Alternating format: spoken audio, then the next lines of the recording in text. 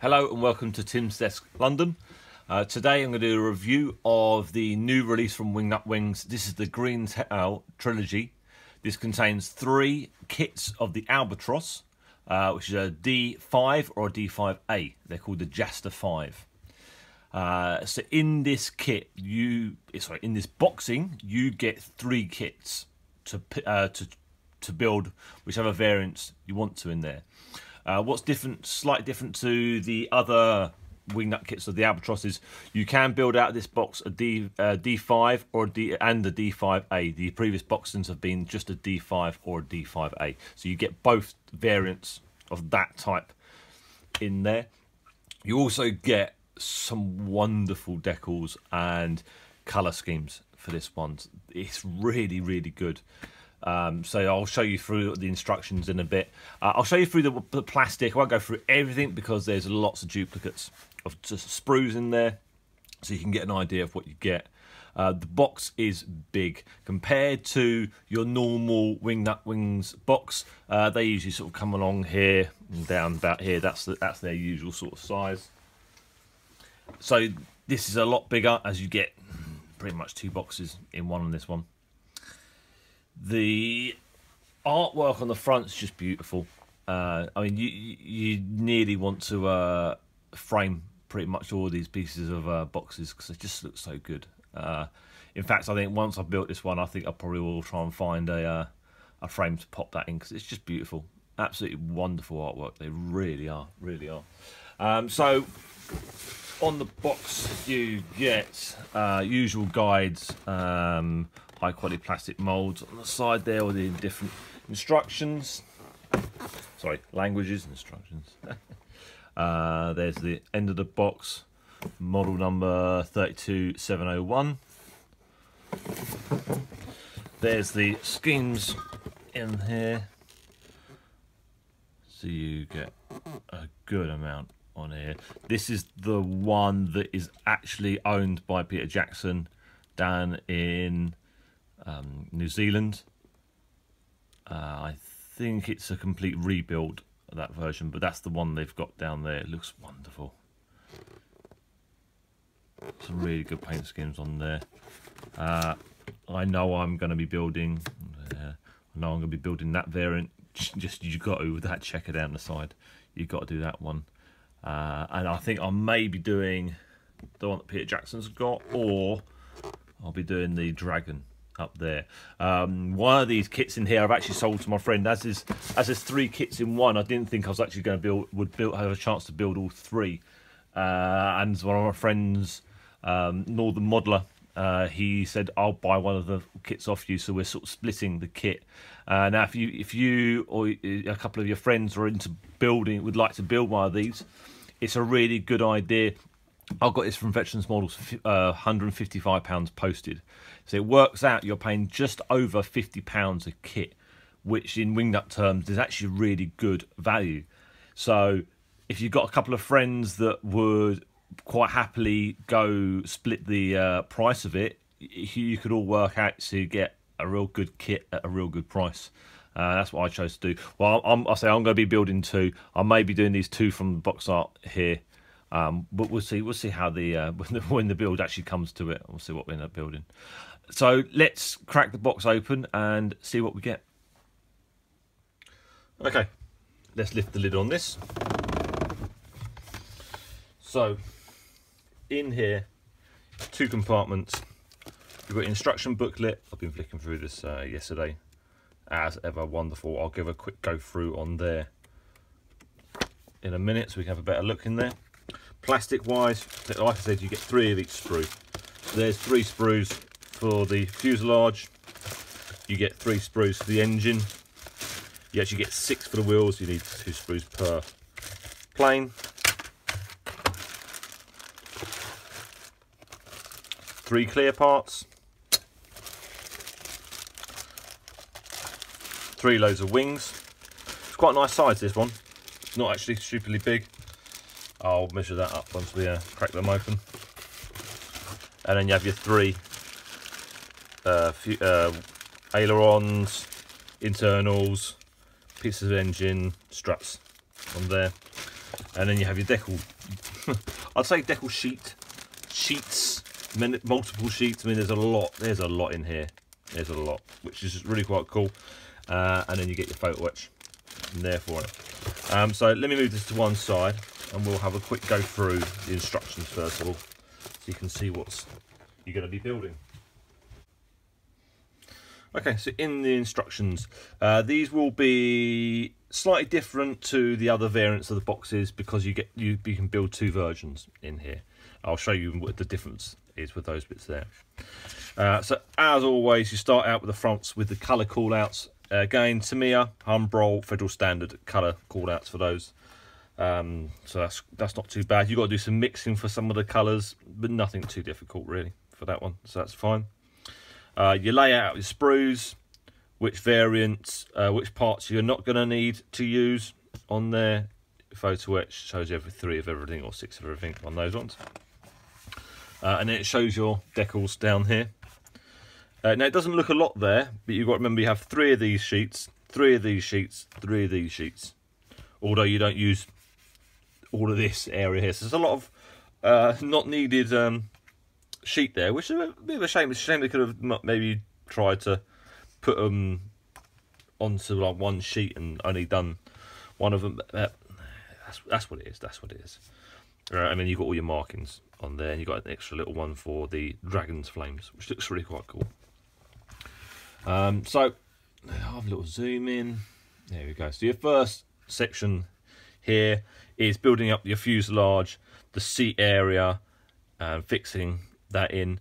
Uh, there are lozenge, which are these colours down here to put onto the internals, uh, as they would have used the same fabric that was on the outside as the inside to make up the bulk, like a rear bulkhead area there. Uh, you've got to pay attention to seatbelt locations on there. And what you will see in here a lot is all of these letters now these are for the different variants, which are at the back. So there you, there's your K, G, A, B, C, D there. You've got to pick before you even start doing this sections. Very from the very word go on the instructions, you need to know which version you're building. So it depends which which lozenge you're putting on the internals. So that is that's probably although you start at the front you nearly have to start at the back in these instructions to decide which variant you're going to be doing. Um, yeah, do your do your cockpit, do your seat belts onto the seat. Again, different stalk controls. So, which variant are you doing on there? Again, uh, putting your dials in, putting the tachometer and the uh, gun mounts for these Spound guns. I'm, I'm, i could be saying that completely wrong. There's a good chance of it. You've got there your cockpit continued, which now gives you your ammo cases for the two machine guns, where they sit on there. As always, they give you some lovely photos, so you get an idea of how they look in real life. And these are real-time real-time photos, not the replica replica one. Uh, then we come up to starting doing the rigging for the internals. Now, like a lot of the British planes, they have a lot of internal rigging. The German ones, these ones don't because of the round style of the fuselage. But you're going to have to have all the control wires. Let me get you in shot. Sorry there. Uh, yeah, this is a round tile fuselage. You don't have lots of rig cross rigging going anywhere. This is control wires. There are different variants there. Again, which variant are you doing? Uh, the it's the D D5 or the D5A that one. We'll get to that into the back. And then they give you a breakdown picture of all of the painting. So what that area should look like once you've got to this stage and it should all be painted. So these pictures I think really help a lot because you can you can sit there and look at the model in your hand while you've been while building it, see if you've missed any colour, pick it, pin, pin it, pick it out with some detail painting. Uh, again, more lovely pictures of the real aircraft. There's your D5, these are D5A, slightly different variants for markings that they're picking out there for different areas. Then you start up onto the engine. Uh, again, which variant are you doing? The From the A to the H has the Daimler-Benz 160 horsepower D3 engine. So that's the instructions for that one. And then variants I, J, and K have the Daimler-Benz 180 horsepower D3A engine. That's the build up for that one again on there. And then they give you these wonderful pictures of the planes all laid out. And you can think how many you can build. and every single one's slightly different. Different markings, different pictures on the side. You can even model a cow if you want to. Ah, Absolutely wonderful. Absolutely wonderful. So they, there are so many more decal schemes that you could do for this plane. Absolutely endless, nearly. They'd look great if you did them all. Uh, then we go up to mounting the engine into the fuselage. The other side of the fuselage. Join them together. Pick the spout guns up on the top there. More reference photos for the machine guns and the plane are there. Uh, fitting all the slightly small units, so you've got windscreens on there. Uh, these said these are flare racks on the side, which I never knew they they used when they're flying, where they had flare racks. It seems to be an optional idea whether they you, you put them on or not. Uh, more real-time photos of the plane. Um, now, if any of you guys have got a Gotha kit and from the wing nuts, this plane here they show was actually a um, this is this was a, served as an escort to the Gothas to keep them protected. So that's quite a cool one. If you uh, if you can get hold of the specific markings for that, you can mount, put have it sitting next to your Gotha as a as an escort plane. Uh, you go to start putting on your lower wings up here.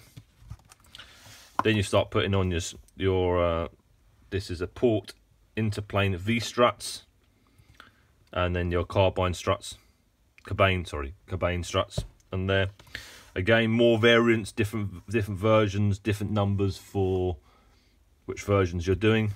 You've already got to keep an eye, close eye when you're doing this to which ones you are going to be putting on there. Uh, the radiator into the top wings. Ailerons to the D5, ailerons to the D5A.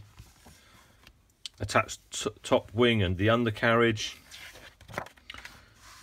Attach your spinner. Different variants again for it. Final assembly. And then onto your rigging. Now, this isn't this for rigging wise. This isn't too bad. You've got a couple of control wires down the front end here. You've got your main common common rigging across the middle, and then you've got some more control wires. And they're, but they're different to different types for optionals and where you want to put them. So you can put them where where you want to on those ones. And then you've got the rigging that goes in between the, the, the pilot and the upper wing surface if you're doing that variant. Other variants went along the, the inner wings and went up. This one goes along the top wings and down. Now, let me zoom back out a little bit.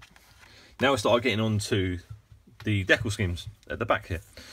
Now, the, the color, the difference of the colorations and how you're going to paint them, what you want to do, how far you want to go with this, it's just stupendously mind-boggling and brilliant. And this, um, it's just wonderful. So you, you, there are some very plain schemes in here. If you are you aren't you haven't got the bravery to really go at it yet, there are some quite nice simple schemes in here to do. Or you go full out on it and you go, let's do it. So we can go. We'll start with the dragon. That's quite good. No no bare wood on the outside. This is all one decal. Uh, the dragon's all one decal. Flames are slightly separate on there. This is a two-tone camo on the top wings and then single colour underneath. So that's quite a nice, good one and very bright and colourful to do. So that's why I was looking at and thinking, yeah, that looks quite a nice, easier one to do. B is a bit more different. Same two-tone colour on the top of the wings.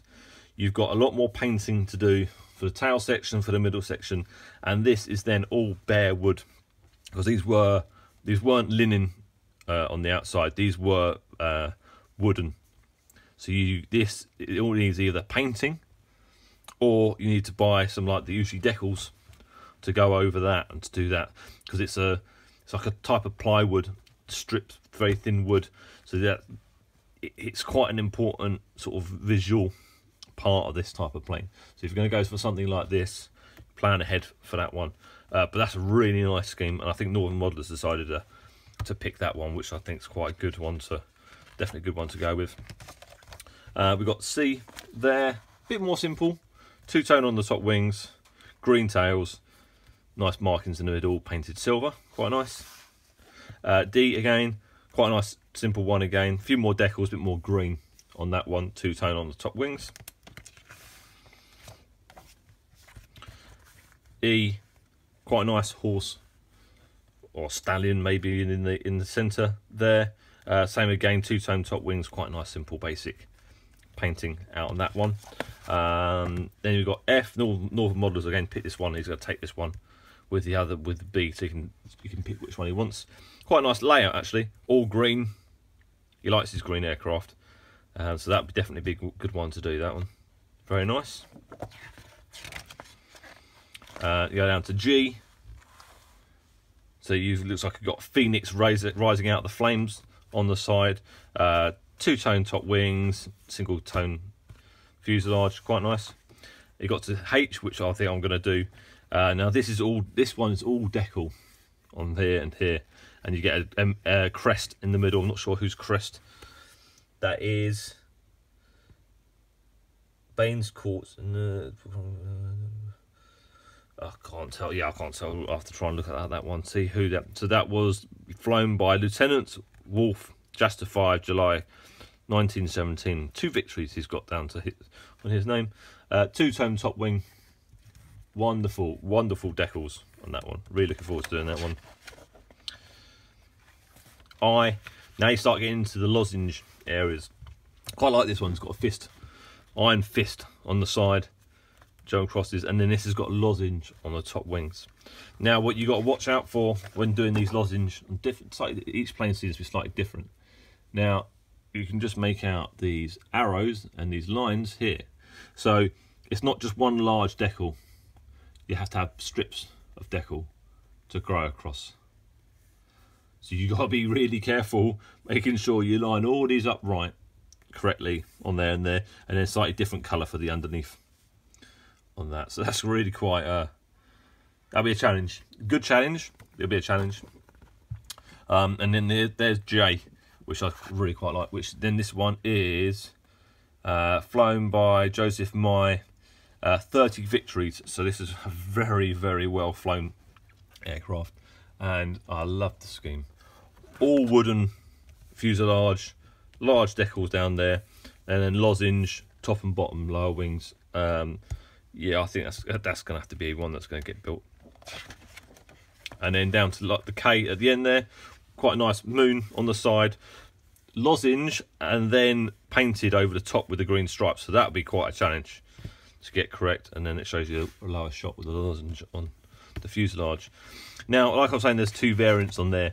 There is only two D5As buildable in this kit. That's the last two J and K. They're the only two D5As. The rest of them are all D5s, straight D5s. so I know I'm going to be doing, most likely going to be doing that one. So got, I'm going to build one D5 and one D5A. Get used most most out of it to do variants on different engines on there. Um, they're all looking super. Nice picture at the end there with the tracking. Uh, shout out at the end there to all, all the guys that help help build these kits. Mark Miller, Steve Anderson, Ronnie Barr, and Richard Alexander. And that's the instructions gone through. Uh, let me open up the plastic and see what's in there. Okay, so we can start off with the fuselage. Now these are, just make out there's panels, lines all on there. So each one of these panels will be a different piece of wood if you do a wood finish on that. Um, the detail on them so nice. Now this is, there are HGW kits and Eduard sets to add more detail to the exterior of these, and I'll be honest, I've been looking at them. But honestly, I don't know if you really need them. I mean, the, the, the detail's just so crisp on everywhere on these kits. Absolutely wonderful. Absolutely wonderful. So you get radiators there. Very nicely done. Uh, front engine sides there. Nose cone. Uh, your back of your spinner. A few of the little pipes, pipe work across the top there. Uh, as usual, very, very little flash. Actually, do you know what? I'm not. I'm gonna say. I don't think there's any flash anywhere. No. No, not a spot.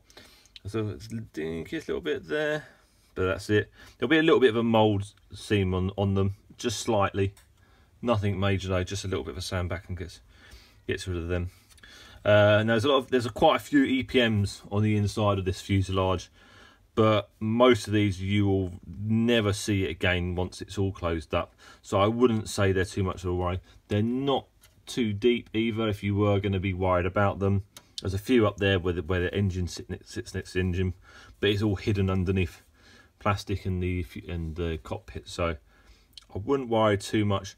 There's a lot in there though. I will say that there is a lot in there.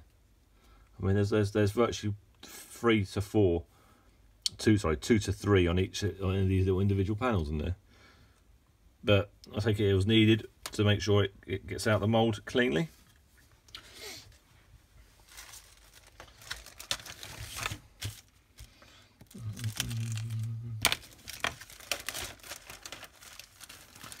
So next bag, next sprue up is the engine and the props.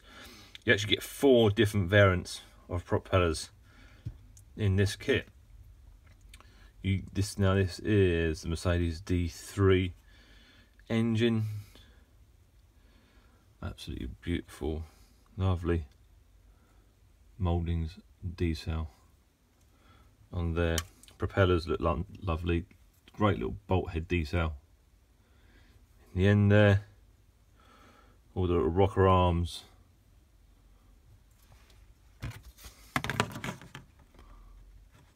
And they're looking beautiful.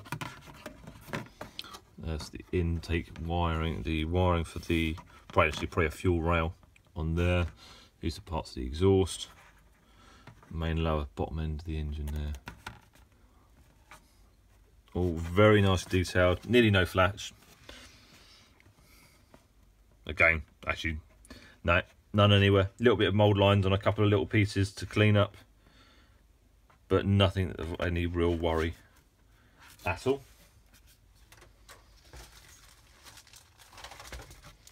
Let's have a look on the wings.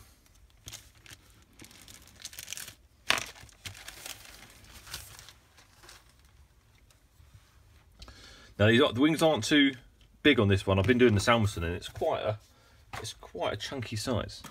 This is this will end up being rough just over 11 inches wide on that one. So it's quite a nice small size. Uh, if you if you like your centimeters, that is about 29 centimeters wide. Uh, the fuselage I'm gonna is quickly get a little measurement with the spinner. Let's say with a spinner on there, 23. So it's quite a dinky size plane. It's quite a dinky size. Nice, nice. It's really nice to build up.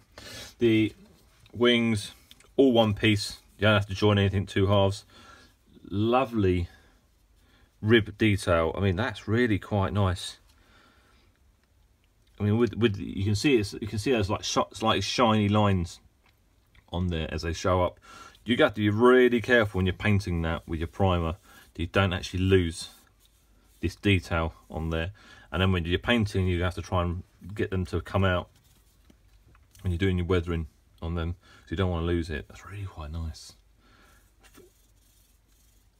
just about hear that when you run your finger over it, the difference in height on them. Absolutely perfect.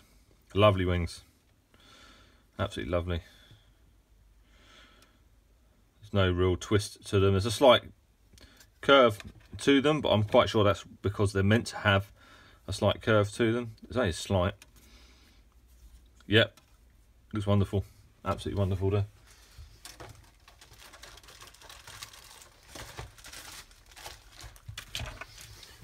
I'll grab, grab the clear sprue and just have a little spring. Quickly. clear parts. as clear as you want them to be. I mean, they are really, yeah, they're really quite nice. They're a bit, this, they're nice and clear, but they are a bit distorted just because the, the shape of them and the curvature of them. Um, but I mean, they're so small, you don't look through them, you'll just see them sitting in front of the pilot's cockpit. But they're nice and nice, clean and clear looking, so that's fine.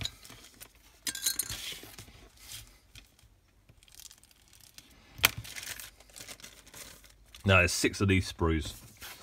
These are the wheels, centers of the wheels down there, struts, and a two different variants of machine gun on there. Again, with wing nut kits, these aren't hollowed out or slide molded on the ends. So whether you want to drill them out or do a metal barrel, up to you on that one. But as everything, it's very nice. They haven't given you weighted tyres on this one. Sometimes they give you the option, or is it slightly? No. Uh, give you the option of giving it a slight weighted look to them. So you might want to flatten off the bottom just on the one so they sit and look a little more correct for the weight. But the machine guns have got some nice detail on them. The coolant jackets looks nice. Yeah, all looking good. Very good. And then we've got one more sprue left. I'll put them to that side. Which are now the internals.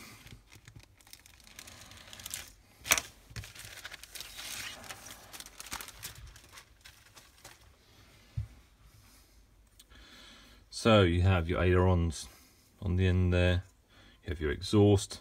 On the instructions it does say to drill out the end of the exhaust to make it more realistic. Uh, I think a slide moulding technology could be used quite nice in some of these little parts, but with the cost of the kits as they are, maybe it's, it does maybe just keep the, that cost down so it's, they don't go astronomically uh, high on them. Uh, nice wing strut details on there. There's all the sensor ribbings for the plane. All nicely detailed on there. Pilot seat, as plain as the pilot seats were in those days. There's your ammo feed chute. Some of the smaller details on there. So yeah, all together, very nice. Nothing broken. Nothing looking mismolded. Very very good indeed. Very good indeed. Um, so that's plastic gone through. Uh, let me get the decal, decal sheets out and we can go through them. So while getting out the decal sheets, also the photo etchers in there. So you get in there, you do get seat belts. Uh, you do get some areas for the front end where the where the machine gun sits, radiator grills, gun sights, and what looks to be something probably I think for the interior on there. All good, very nice. Two little placards down the bottom there for a D5 or D5A if you if you want to display it as well. Very nice. Now onto the decals. There is the little decal sheet there for the flames. Uh, not isn't sure why they felt they had to do it separately. All in register, all very fine. I slightly there are, says on there justified correction. So must be a slight imperfection on the original decals. So they corrected it with that little decal on there. I'll have a little look in a second, see if I can see what the problems with the flames are. Now all these are printed by Cartograf, so you can truly ima imagine these are absolutely beautiful. I mean, they are fully in register, bright, vibrant, clean, the most minimal amount of backing film that's needed. Just exactly what you need.